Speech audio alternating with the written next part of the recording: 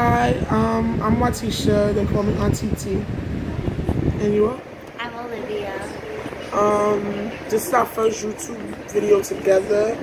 Um, my niece expressed interest in it, so I decided that I would um, start it up for her and let's see where she go.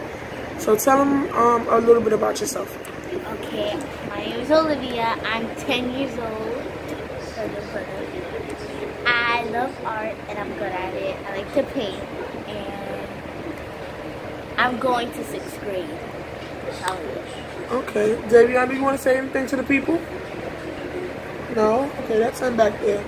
But, um, so like she said, she likes to um, paint and draw.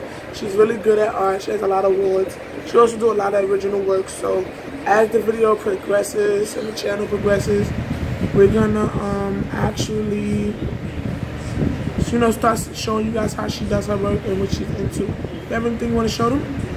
Um, I have this one. she drew that. I drew it and I painted it. Yeah. That's for a gift. I have this one. That was kind of like my first one. Yes. Well, we um we found out at an early age that she was really into drawing and art. And um, she was kind of like the first kid that I ever met was just like, I want art supplies for Christmas. Um, she's very crafty. She bakes. She does it all. So, like I said, um, I'm starting her channel off. Oh, I got a little dry skin.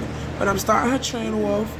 And hopefully when you see us again next time, we'll be doing a how-to on her next piece. Um, tell them what they're going to be looking forward to.